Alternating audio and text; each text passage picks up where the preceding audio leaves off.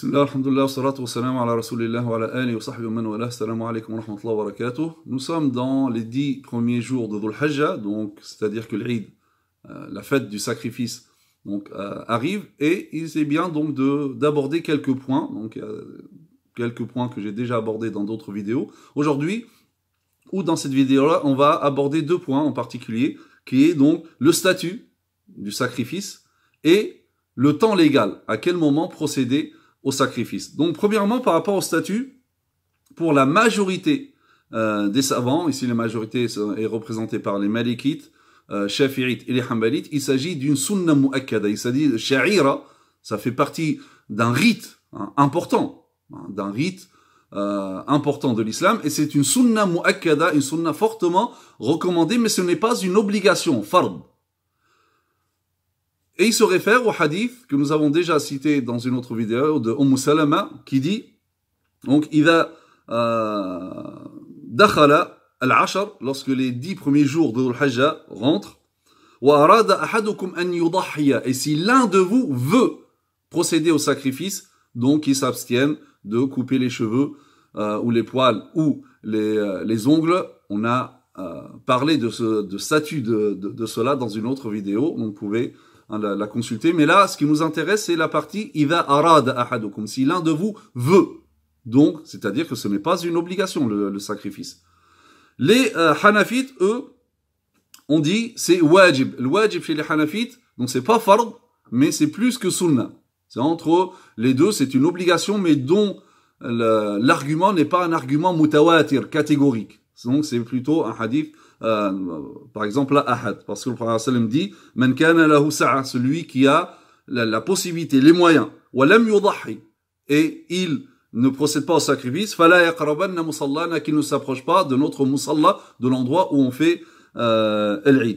Et donc, pour les Hanafites, c'est un acte wajib pour celui qui en a les moyens. On a, celui qui en a les moyens, c'est qui? C'est celui qui possède euh, le nisab de la zakat, en plus du prix du sacrifice. Mais la majorité, Malikite, Hanbali, Shafi'i disent non, c'est une sunna fortement recommandée. C'est pour cela d'ailleurs que Abu Bakr et Omar, parfois, euh, ils ne procédaient pas au sacrifice justement pour montrer aux gens que ce n'est pas une obligation. Hein, de même que Ibn Abbas, radiallahu euh, anhuma. Bien sûr, lorsqu'on dit sunna mu'akkada, ça ne veut pas dire qu'il appartient aux musulmans de la délaisser complètement. Non, c'est-à-dire, il peut de temps en temps, il n'a pas eu le temps, ou il peut pas, donc, euh, etc. Il l'a pas fait de temps en temps, d'accord? Mais dire c'est une sunna, donc c'est sunna, ou vu que c'est sunna, c'est pas obligatoire, donc je la fais pas du tout. Non, attention, quand c'est une sunna fortement recommandée, toutes les sunnas fortement recommandées, il n'appartient aux musulmans, il n'appartient pas aux musulmans de les délaisser d'une manière euh, générale. Maintenant, le temps légal du sacrifice. Pour l'imam Malik et Ahmad et même pour Abu Hanifa, donc pour la majorité, le, les jours du sacrifice et le jour du sacrifice lui-même, donc le jour de l'Eid, plus deux jours après, pas trois. Pour la majorité, hein, je parle pour la majorité, contrairement à, à ce qu'on pense. Donc c'est le jour de l'Eid plus deux jours après. C'est l'avis de l'imam Malik Ahmad également chez, euh, chez les Hanafites. Pour l'imam Shafi'i, c'est le jour de Nahar, le jour du sacrifice, plus trois jours après. D'accord? Ça, c'est l'avis de, euh, de Shafi'i. Et on rapporte aussi un autre avis, c'est Daoud al-Zahiri, Daoud le Zahirit, que finalement, c'est que un jour uniquement. Donc, c'est le jour euh, de Nahar, et ensuite, donc, euh, c'est euh, c'est trop tard. Alors, après, si le temps passe, on n'a pas... Ça, c'est pour ceux qui ont acheté, maintenant, ils ont acheté un mouton, et ils ont laissé le temps s'écouler, et ils n'ont pas sacrifié.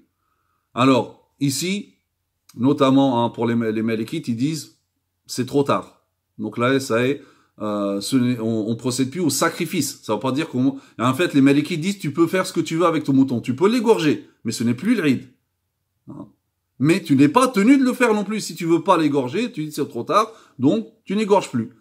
Les Hanbalites ici ils disent non, tu rattrapes obligatoirement, tu l'égorges, bien que ce n'est plus le ride, c'est une sadaqa, mais tu le fais, euh, tu le fais quand même. D'accord? Alors, pour les, euh, les Malikites, il est interdit de procéder au sacrifice pendant la nuit. Donc après le coucher du soleil, il est interdit. Alors que pour la, majorité, c'est permis. Donc la différence, la, la, divergence, c'est par rapport à l'appellation de, ou bien la définition du terme yawm. Donc c'est ayyam. L'yawm, c'est quoi? Est-ce que l'yawm, c'est les 24 heures ou l'yawm, c'est la journée? Donc les malikis disent non, l'yawm ici, c'est hein, c'est la journée. Alors, le moment exact donc pour euh, procéder au sacrifice, pour les malikites, c'est après la salat, la, la, la de l'imam, c'est deux prêches, et le sacrifice de l'imam. D'accord? Donc il faut attendre donc, la salat de l'imam, c'est deux prêches, plus le sacrifice. C'est une condition, on n'a pas le droit de sacrifier avant l'imam. D'accord? Donc, on va se dire, oui, mais ici, comment savoir est-ce que déjà l'imam il sacrifie ou pas? Donc, les malikites disent, bah, on observe un temps permettant habituellement à l'imam de sacrifier. Ensuite, on sacrifie après. D'accord? Donc, pour euh, les euh, ils disent c'est après la salat et les deux prêches. Et ensuite, on peut procéder euh, au sacrifice. Pour les Shafi'ites, ils disent c'est après le lever du, euh, du soleil et l'écoulement d'un temps, l'écoulement d'un temps permettant l'accomplissement de la salat euh, et euh, la salat et les deux prêches, hein, c'est tout. Même si l'imam n'a pas fait la, la salat, peut-être qu'il a trop tardé, hein, mais toi, tu ne sais pas. Ou même si toi, tu n'as pas été. L'essentiel, c'est que tu laisses un moment hein, qui correspond à la salat et aux deux prêches de l'imam. Ensuite, tu peux sacrifier. Et pour les, les Hanafites, ils disent c'est après la salat.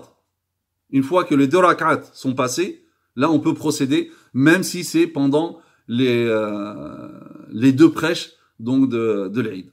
Donc voilà, par rapport à cela. Donc nous aussi, dans notre contexte, comme j'ai dit, des fois, peut-être le fait de sacrifier le jour même, hein, c'est compliqué, donc on peut revenir le lendemain, hein, le surlendemain, hein, et même le troisième jour pour euh, les, les shafi'is. Donc, alhamdoulilah, il y a une largesse par rapport à cela, mais il faut surtout faire attention à ne pas procéder au sacrifice avant la, la salat.